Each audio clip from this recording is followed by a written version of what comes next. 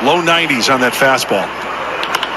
Fly ball, deep left field. Back goes Gurriel Jr. at the wall. He leaps.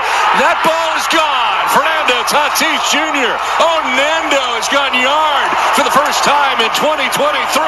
Padres jump out to a 1-0 lead.